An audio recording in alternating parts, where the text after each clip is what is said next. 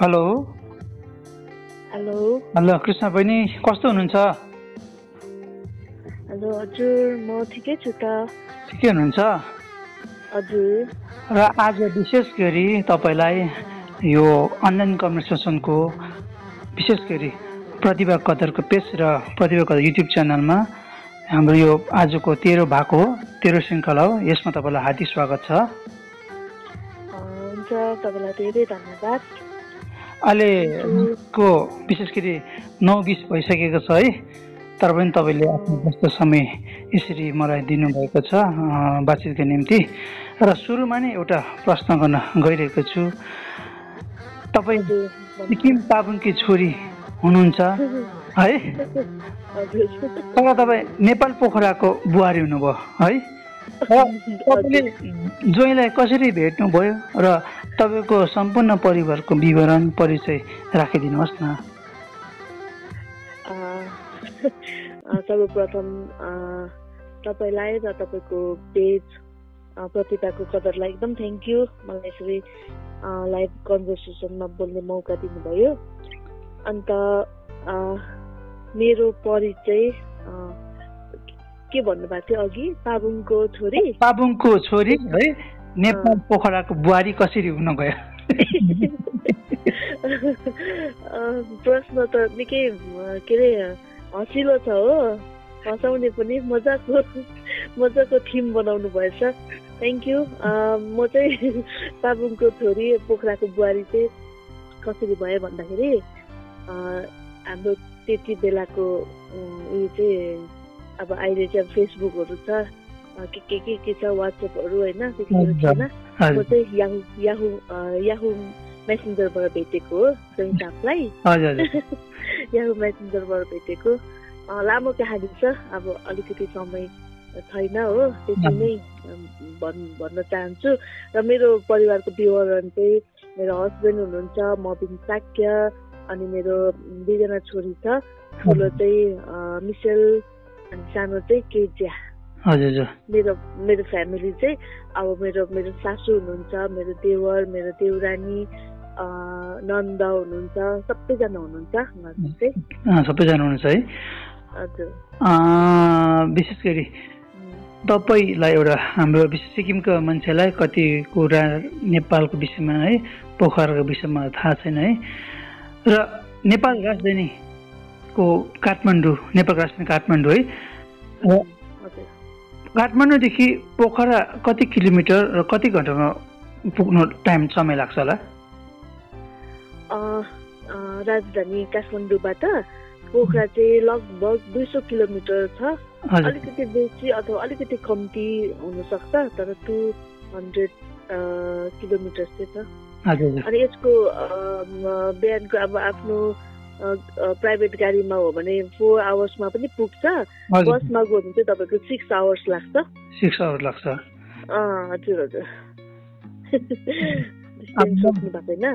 प्रश्न गर्ने मान्छे है विशेष गरी म काठमाडौँ चाहिँ पुगेको पोखरा अहिलेसम्म पुगेको छुइनँ हो। र मलाई पनि जानकारीको लागि अनि हाम्रो श्रोताहरूलाई जानकारी निम्ति यो विशेष गरी हाम्रो पोखराको सुन्दरता बारे है त्यहाँ घुम्न लायकको जग्गा के के छन् है? तपाईँले यो कन्भर्सेसन बताइदिनुहोस् न। ल मलाई यो मौका दिनुभयो। पोखरामा के अरे टुरिस्टहरू भित्राउनुलाई चाहिँ मौका दिनुभयो। यो भन्नको लागि। पोखरामा थुप्रै ठाउँहरू छ। घुम्नको लागि चाहिँ पोखरा अम, सिक्किमको थुप्रै आउँछ इन्डियाको होइन? सिक्किमको थुप्रैजना आउनुहुन्छ। अनि एक एकपल्ट आएपछि फेरि पनि दोहोऱ्याएर तिनपल्ट चारपल्टसम्म पनि आएको छ हो।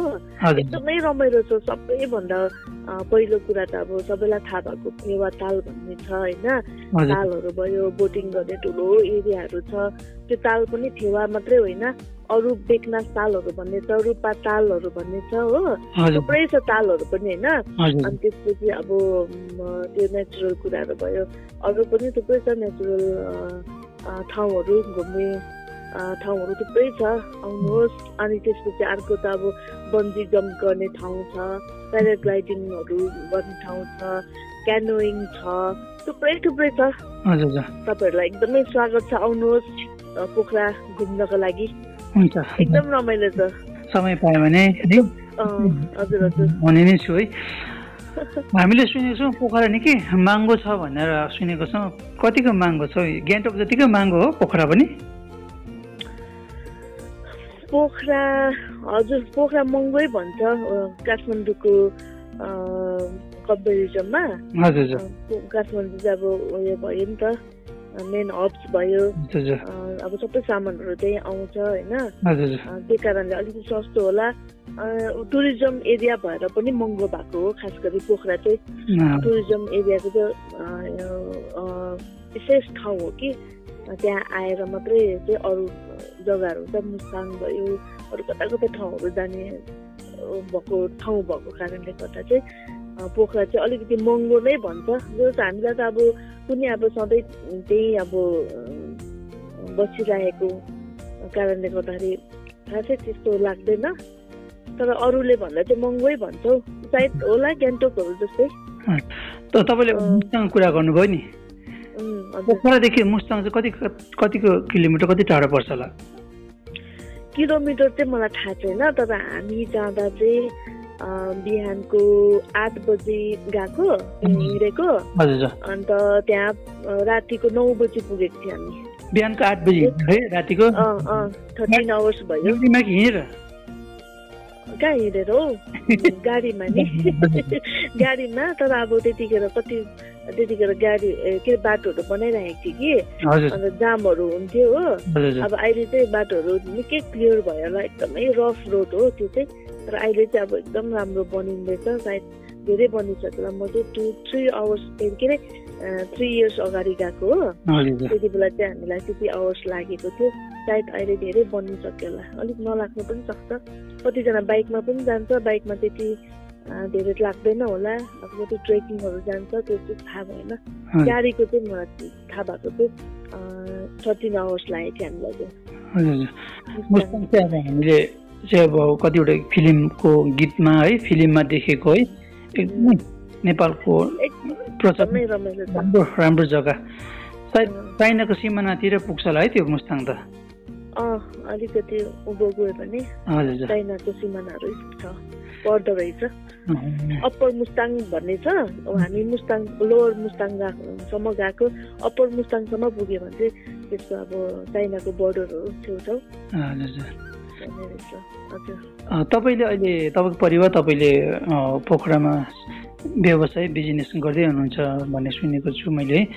के बिजनेस गर्दै हुनुहुन्छ होला तपाईँले? के को बिजनेस होला? हाम्रो बिजनेस चाहिँ अब फ्यामिली बिजनेस छुट्टै छ। हाम्रो पर्सनल बिजनेस छुट्टै छ। फ्यामिली बिजनेस हाम्रो रियल इस्टेट हो। अन्त अब हाम्रो चाहिँ अब पर्सनल सानो सानो फर्निचरको पनि गर्छ होइन। फर्निचरको सप्लाईहरू गर्छ। त्यही हो। दाजु हाम्रो बिजनेस चाहिँ। तपाईँले अब यसरी तपाईँको परिवार तपाईँले व्यवसाय गरिरहनु भएको छ। साथमा तपाईँले हामीले सुनेको छौँ कतिपल्ट हामीले देखेको छौँ है। तपाईँ टिनेज टिनेजरको सेवा है। सेवाकाई तपाईँले कोअर्डिनेटरको भार लिएर काम गरिरहनु भएको छ भनेर है। र टिनेजरको सेवाकाईको मूल उद्देश्य के हो अनि किन तपाईँले यो टिनेजलाई फोकस गरेर तपाईँले काम गरिरहनु भएको छ? हजुर हामीले टिनेजर्सको बिचमा हामीले सेवाकाई गरिरहेको छौँ। यो चाहिँ लगभग हाम्रो फाइभ इयर्स कम्प्लिट भयो। फाइभ इयर्समा चाहिँ हाम्रो एकदम ग्रान्ड गर्ने विचार पनि थियो। तर लकडाउन अब यो कोरोना भएको स्टार्ट भयो होइन। त्यसपछि हामी भर्चुअल भए पनि गऱ्यौँ। फाइभ इयर्स कम्प्लिट भयो। अनि यो हामीले सुरु गरेको कारण चाहिँ अब टिनेजर्स को मेरो आफ्नै थुप्रै कुराहरू याद आउँछ होइन? सबै कुरा नभनौँ होला। अनि टिनेजर्सको बेलामा चाहिँ मैले म आफूले चाहिँ कति ठाउँमा गल्ती गर्दै आएको छु के के काम बिगारेको रहेछु मैले होइन? के के गर्नु नहुने कुराहरू गरेको रहेछु भन्ने थुप्रै मिस्टेक्सहरू म आफ्नै पाएको कारणले गर्दाखेरि अब म अब आउने पिँढी मेरो आफ्नै छोरी पनि टिनेजर्स नानी हो होइन? सिक्सटिन इयर्स पुरा भयो। अन्त उनीहरूको त्यो बिहेभियर उनीहरूको त्यो हामीसँगको ट्रिट अनि मेरो पहिलाको यादहरू आउँछ हामीले गरेको कुराहरू होइन? त्यही कारणले अब यो यति साह्रो सेन्सिटिभ के अरे उमेर हो होइन? तेह्र वर्ष काटेपछि चाहिँ यति साह्रो सेन्सिटिभ समय क्या टिनेजर्स चाहिँ ट्वेन्टी इयर्ससम्म चाहिँ एकदमै सेन्सिटिभ के अरे यो एज हो होइन अनि यतिखेर चाहिँ अब यिनीहरूलाई चाहिँ यिनीहरूलाई चाहिँ अब यति बेला चाहिँ के लाग्छ अरे गधा पनि एकदम ह्यान्डसम लाग्छ अरे हो केटीहरूलाई। गधा पनि एकदम ह्यान्डसम लाग्छ अरे अब केटाहरूलाई गधैनी एकदम ब्युटिफुल लाग्ने समय हो। अनि त्यसपछि फ्यामिलीलाई आफ्नो फ्यामिलीको कुराहरू मन नपर्ने जसले राम्रो भनेको चाहिँ त्यो कुरा चाहिँ नराम्रो लाग्ने दुश्मन दुश्मनी बनाइ पठाउने त्यस्तो उमेर हो। जसले जे भने त्यतै त्यतै लाग्ने। जो जे बनाउँछु भने त्यही बन्ने खालको हुन्छ नि। बाङ्गिने। यो उमेर चाहिँ अब यति बेला चाहिँ हामीले यिनीहरूलाई राम्रो ट्र्याक दियौँ देखायौँ भनेदेखि मलाई चाहिँ लाग्छ यिनीहरूले अलिक राम्रै ट्र्याक समाउन सक्छ। त्यही कारणले पनि हामीले थुप्रै अब टिनेजर्स हाम्रो यो क्याम्पहरूमा चाहिँ हामीले इयरली गर्छ। इयरली गर्दाखेरि हामीले थुप्रै कुराहरू सिकाउँछ। थुप्रै कुराहरू हामीले परमेश्वरको कुरा त सिकाउँछै सिकाउँछ होइन? र अब बिचमा अब थुप्रै सोसियल कुराहरू पनि सोसियलमा अब अब के अरे मान मान्छेहरूको अगाडि कसरी उयो गर्नुपर्ने व्यवहार गर्नुपर्ने यस्तो थुप्रै कुराहरू हामीले सिकाउँछौँ। भनेपछि तपाईँले यो टिनेज सेवाको चाहिँ टिनेज नानीहरूलाई गाइड गरिरहनु भएको छ? एकदमै हामीले गाइड गर्ने कोसिस गरिरहेको छौँ र थुप्रैजना चाहिँ सक्सेस पनि भएको छ। यो विषय यो के अरे हामीले गरेको सेवाकाहरूबाट हामीले गर्दै गरेको यो उनीहरूलाई गाइड गर्दै गरेकोबाट थुप्रैजना चाहिँ सक्सेस पनि भएको छ। मतलब उनीहरू राम्रो ट्र्याकमा लागेको छ राम्रो बाटोमा लागेको छ। जो जोहरू चाहिँ अब नराम्रो ट्र्याकहरू लिइराखेको थियो उनीहरूले चाहिँ अब हाम्रो हामीले दिएको शिक्षाहरूबाट चाहिँ उनीहरूले राम्रो ट्र्याक समाएको थुप्रो टेस्टमोनीहरू पनि छ? तपाईँको जुन यो सेवाकै छ है माथि हामी सबै प्रार्थनामा याद राख्नेछौँ है। र यो सेवाकै गर्दाखेरि कार्यक्रम गर्दाखेरि हामीलाई फाइनेन्सियल आर्थिक कुराको जरुरी पर्छ है। तपाईँहरूले चाहिँ कसरी यसलाई म्यानेज गरिरहनु भएको छ? फाइनेन्सियलको कुरा चाहिँ नि हामीले केही गर्दैनौँ। त्यो चिन्ता पनि लाग्दैन हो उठाउनु पर्छ भन्ने त्यस्तो जरुरी पनि लाग्दैन। किनभने चाहिँ हामीले एकदमै प्रार्थनासहित हामीले जुन त्यो के अरे जुन दिन जुन समय हामी अर्गनाइज गर्छ त्यति बेला हामी रेजिस्ट्रेसन त्यो फिज उठाउँछ नि। अब जस्तै अब के अरे फाइभ हन्ड्रेड हामीले लास्ट इयर चाहिँ एक लाख बिफोर लास्ट इयर चाहिँ हामीले सेभेन हन्ड्रेड गरेको थियौँ। एकजनालाई तर अब गर्नु नसक्नेहरूलाई चाहिँ हामीले चाहिँ उनीहरूलाई फ्री पनि गरेको छौँ। तर पनि अब सक्नेले गरेर पनि हामीले अनि त्यही उठाएकै बाट अनि हामी कमिटी छ। होइन? अनि कमिटीले पनि हामीले हातेमालो गर्छ हामी सबैले कन्ट्रिब्युट गर्छ। अनि यसैबाट हो हामी कहीँबाट पनि उयो चाहिँ छैन। भनेपछि तपाईँले कमिटीले सहयोग गर्छ कमिटीबाट। कमिटीबाट अनि त्यही नानीहरूकै अब जो जो त्यहाँनिर आउँछ इभन भलिन्टियरले पनि रेजिस्ट्रेसन गरेर नै उनीहरू इन हुनुपर्ने जस्तो हामीले राखेको छ। किनभने उनीहरूलाई दिनु पनि सिकाउने हो क्या? दिनु पनि एउटा दिएर पनि प्रभुको सेवाकै हुन्छ। अनि भनेर भन्ने सिकाउने अनि त्यसपछि के एउटा रेजिस्ट्रेसन रेजिस्ट्रेसन गरेर आइ आइसकेपछि त्यसको एउटा महत्त्व पनि तिनीहरूले बुझ्छ नि त नानीहरूले। त्यही कारणले पनि हामीले गर्छौँ। अनि त्यहीबाट चाहिँ हामीले गरिरहेका छौँ अहिलेसम्म चाहिँ। परमेश्वरलाई धेरै धन्यवाद। अहिलेसम्म हामीलाई यसरी नै पुगिराखेको छौँ दाजु। एकदमै राम्रो कुरा। एकदमै परमेश्वर अझै तपाईँको सेवाकाईमा है तपाईँको टिमलाई तपाईँलाई परमेश्वर आशिष दिउँ है। र कुरा सोध्न गइरहेको छु है। तपाईँले राम्रो राम्रो फोटो खिच्नुहुन्छ मैले तपाईँको अति देखेको छु। कति तपाईँको धेरै माध्यमबाट मैले देखेको छु है वाट्सएपमा देखेको छु तपाईँको है। र तपाईँको यो फोटोग्राफीमा कसरी तपाईँ यसमा लागि पर्नुभयो? तपाईँलाई कस्तो आइडिया दियो? कसरी तपाईँले मन भयो अनि तपाईँले कस्तो प्रकारको प्राय फोटो खिच्नुहुन्छ तपाईँले? ओहो, फोटोग्राफीको बारेमा? हजुर फोटोग्राफीको बारेमा चाहिँ मैले भन्नुपर्दा चाहिँ मलाई चाहिँ यो उयो लाग्छ। हाम्रो ब्लड उयो जस्तो लाग्छ कि मलाई यो? हजुर किनभने मेरो माइला काका हुनुहुन्थ्यो नि हुनुहुन्थ्यो। सिक्किमको पहिला अब टप फोटोग्राफर हुनुहुन्थ्यो नि त। उहाँको नाम के? रहेछ तुलसी तुलसी। तुलसी। पहिला पहिला अब एकदमै सिक्किमभरि फोटो खिच्दै हिँड्ने हुनुहुन्थ्यो रहेछ नि त। के अरे माइला अङ्कल चाहिँ। सायद त्यही लाग्छ ब्लड रिलेसनले गर्दा होइन? त्यो प्रभुको आशिष पनि होला। मलाई एकदमै इन्ट्रेस्ट लाग्ने क्या अब एकदमै इन्ट्रेस्ट लाग्ने। अब फोटो चाहिँ कसरी खि अब थुप्रैजनाले मन पराउनुहुन्छ।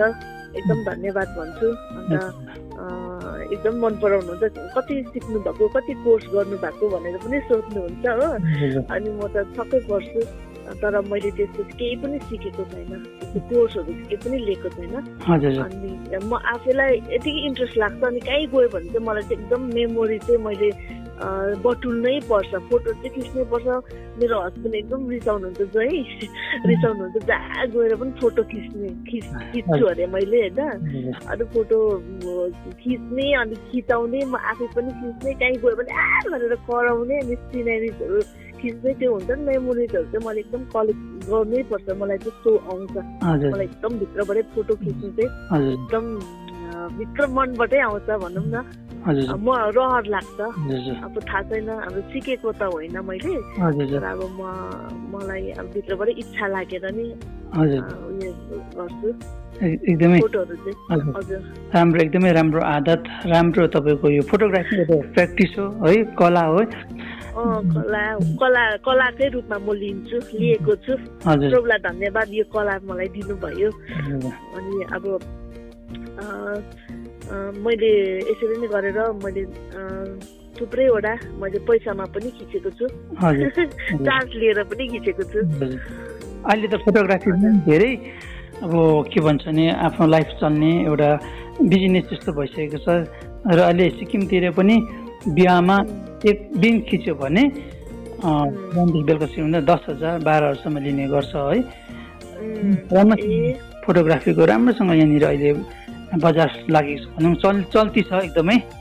हजुर हजुर एकदमै छ नि अहिले त। ट्रेन्डी भएको छ अब जे कुरामा पनि फोटो खिच्ने होइन। अब मरेको के अरे फ्युनरलदेखि लिएर जन्मेको के अरे जन्मिनु त के जन्मिनु पाउनु के अरे नजन्मिकन प्रेग्नेन्सीबाटै फोटो सुट होइन? अहिले त एभ्रिथिङमा हरेक कुरामा फोटो सुट क्या हो, हुन्छ नि? त्यस्तो चलन आएको छ। राम्रो हो यो कुरा। फोटोग्राफी पनि राम्रो लाग्छ मलाई। मलाई यस्तो लाग्छ फोटोग्राफी नि एउटा के भन्ने एउटा पेसन हो। एउटा फोटोग्राफीले स्टोरी नै भन्ने गर्छ। जस्तो लाग्छ है? र तपाईँको फोटोग्राफी अझै राम्रोसँगले खिच्दै जानुहोस्। खिच्दै जानुहोस् राम्रो फोटो हेर्नु पाऊँ है? र दर्शकहरूले पनि तपाईँले जुन अहिले बोलिरहनु भएको छ म केही फोटोहरू उहाँले खिच्नु भएको देखाइरहेको छु। र आजमा दर्शकहरूले पनि यो फोटोहरू हेर्दै जानुहोस् उहाँको कलालाई तपाईँले विशेष गरी सेल्युट दिनुहोस् भनेर र तपाईँ विशेष गरी सिक्किमको अब छोरी है पाबुङको छोरी उता अब है। कुखुराको बुहारी। अँ, पोखरा गयो कहिले कहिले मात्रै त फर्क यता आउनुहुन्छ है। र तपाईँ उता नेपालमा बस्दाखेरि यता सिक्किमको यादहरू आउँदैन? सिक्किमको याद? हजुर। सिक्किमको याद आउँदैन नि मलाई। किनभने हरेक समय मैले सम्झिरहेको हुन्छु मलाई याद गर्नै पर्दैन। भन्नु अरे। किन आउँदैन हौ याद? आम्मामा आउँछ नि हरेक कुराको। आउँछ नि मलाई याद। तपाईँको जीवनमा है विशेष गरी बालपनको कुनै नबोल्ने केही घटनाहरू छ भने सुनाउ न बहिनी बालकपनको? हजुर। सानोमा केही घटनाहरू छ थुप्रै छ हो दाजु कुन चाहिँ भनौँ कुन चाहिँ भनौँ भयो कि भन्नु नि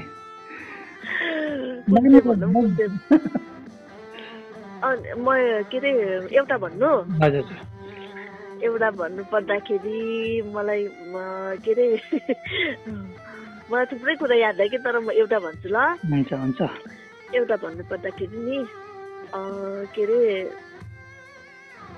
एक एक एउटा समय थियो के अरे त्यति बेला चाहिँ खडेरी लागेको भनेको थियो कि तर म त्यतिखेर बुझ्थिनँ हामी सानसानै थियो। खडेरी लागेको भनेर अहिले बुझ्छु त्यो चाहिँ अनिकाल परेको रहेछ हो।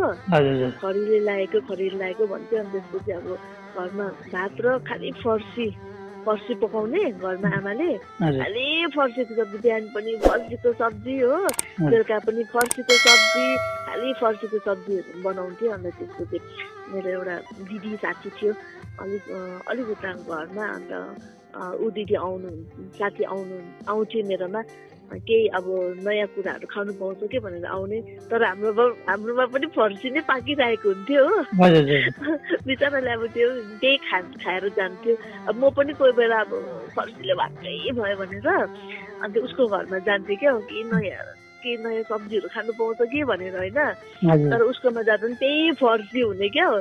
त्यो कुरा याद आउँछ क्या मलाई पुरा? अहिले फर्सी खानु बित्तिकै फर्सी देख्नु बित्तिकै मलाई त्यो मेरो साथीको पनि याद आउँछ। अनि त्यो खडेली भनेको कुरा चाहिँ ए त्यस्तो पो रहेछ। अँ, खडेली भनेको दुःख पा पाएको अनिकाल लागेको कुरा रहेछ भनेर त्यो कुरा याद आउँछ कि दाजु? हजुर। मलाई एकदम हाँस पनि उठ्छ हो त्यो फर्सीको कलरहरू थाहा छ अहिलेसम्म मेरो आँखामै होइन। अनि त्यसपछि त्यसको टेस्टहरू पनि थाहा छ। कि हजुर खान्छु कि। खान्छु।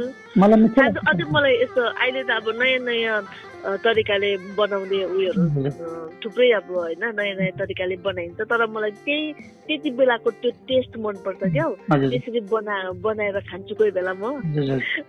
एकदम याद आउँछ मलाई। हजुर। खुसी लाग्छ नि हामीले पहिला जीवनमा है त्यस्तै प्रकारले हामी हुर्क्यौँ अघि बढ्यौँ होइन।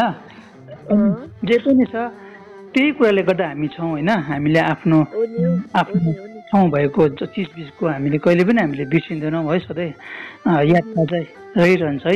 र तपाईँको एउटा कुरा हामीले सुन्यौँ है खुसी लागेको छ। र अरू कुरा चाहिँ पछि भेटेर सोध्छु है तपाईँलाई म। ल सोध्नुहोस् न फेरि रेकर्ड गर्दै लिएर आउनुहोस् है। हुन्छ हुन्छ। रेकर्ड गर्नुपर्छ। अहिले तपाईँहरूमा बोलेको झन्डै बाइस मिनट सत्र सेकेन्ड भइसकेको छ है। र अन्तिम प्रश्न तपाईँलाई गर्न गइरहेको छु है? प्रतिभा कदर पेज प्रतिभाको कदर युट्युब च्यानलले है। विशेष गरी यसरी नै कामहरू गरिरहेछ र अझै कसरी राम्रोसँगले यो पेजले है मैले कसरी अझै काम गर्नु? तपाईँबाट मलाई सुझाव राखिदिनुहोस् न। यो प्रतिभाको कदरको पेजलाई चाहिँ मैले दिनुपर्ने सुझाव चाहिँ केही पनि छैन। मैले देखे अनुसार चाहिँ मैले दिनुपर्ने चाहिँ केही पनि छैन। बरु उल्टै म म चाहिँ उयो भएको छु इन्सपायर भएको छु। त्यो म मात्रै होइन थुप्रैजना इन्सपायर भएको छ होइन? तपाईँले गरिराख्नु भएको जुन काम छ नि वाउ छ क्या? वाउ छ साँच्चै। तपाईँले मैले आफैले भित्र सोच सम्झिन्छु कि म एक्लै हुँदाखेरि? दाजुले कसरी गर्नु भएकोलाई यति बेसी काम तपाईँले सरकारी काम पनि गर्नुहुन्छ होइन? त्यताको सरकारी काममा स्कुल स्टुडेन्टहरूलाई पनि गरिरहेको हामीले देखिरहेको छौँ होइन चर्चहरूमा पनि त्यत्तिकै छ। तपाईँ यता सोसियल मिडियातिर पनि त्यत्तिकै यति साह्रो सबलाई तपाईँले यो प्रतिभाको कदर गर्नुभएको छ कि अब सानो होस् वा ठुलो होस् अब बेसी ट्यालेन्टेड होस् वा भर्खरै सिक्दै गरेको होस् होइन? सबैलाई चाहिँ तपाईँले यति साह्रो राम्रो चान्स दिनुभएको छ होइन? एकदम उनीहरूलाई चाहिँ एउटा हुन्छ नि प्रोत्साहन अनि उत्साह दिएर चाहिँ तपाईँले यति साह्रो मजाले अघि बढाउनु भएको छ क्या। त्यस अब यसरी नै अब मलाई पनि यसरी बोल्ने मौका दिनुभयो। यो पनि एउटा मलाई उत्साहको रूपमा म लिन्छु। एकदम थ्याङ्क यू सो मच तपाईँले गरिराख्नु भएको कुरा चाहिँ यो क्रिस्चियन सोसाइटीमा तपाईँले जस्तो गर्नुभएको चाहिँ एकदम खाँचो पनि थियो। हुनुपर्छ यस्तो कुराहरू चाहिँ अझै बढेर जानुपर्छ दाजु। तपाईँले गर्नुभएको चाहिँ वा सल्युट गर्छु कि म सलाम गर्छु दाजुलाई अनि प्रार्थना पनि हामी गर्दि गरिदिन्छौँ। तपाईँको म, सेवाकाई सेवाकाई नै हो नि यो एउटा। होइन कसैलाई उत्साह दिनु कसैलाई अघि बढाउनु भनेको एउटा सेवाकाई हो। त्यसको लागि हामी प्रार्थना पनि गरिदिन्छौँ। हुन्छ एकदमै धन्यवाद छ। विशेष गरी प्रतिभा कदर पेजले है सबै धर्म सबै है वर्ग सबै जाति केटाकेटी नछुटाइकन है गरिब धनी नछुटाइकन यसरी जसको प्रतिभा कदर छ त्यसलाई हामी कदर गरिरहेको छौँ प्रतिभालाई हामी कदर गरिरहेको छौँ। र विशेष गरी दर्शकहरूले पनि धेरै साथ दिइरहेको छ इन्करेज मैले पाइरहेको छु उत्साह पाइरहेको छु र तपाईँलाई विशेष गरी म आजको यो समयमा म धन्यवाद दिन चाहन्छु। अहिले नौ चौवालिस भइसकेको छ है करिब हामी पच्चिस मिनट हामी ज्यादा बोलिसकेको छौँ है? र विशेष गरी तपाईँलाई एकदमै फेरि पनि धन्यवाद दिन चाहन्छु। तपाईँको श्रीमान जोइलाई मेरोबाट सम्झना भनिदिनुहोस् नानीहरूलाई प्यार हुन्छ अनि तपाईँ आफन्त प्रिय नेपालमा छ है? सबैलाई मेरोबाट सम्झना छ भनिदिनुहोस् ल। ओके हुन्छ। तपाईँलाई पनि एकदम थ्याङ्क यू हाम्रो परिवारबाटै ल। थ्याङ्क यू सो मच अनि अब क्रिसमस आउँदैछ। Merry Christmas same happy new year हुन्छ धन्यवाद धन्यवाद। राखेँ राखेँ है बहिनी। हुन्छ बाई बाई लामो भयो होला है। हुन्छ हुन्छ हुन्छ एकदमै ठिक बाई बाई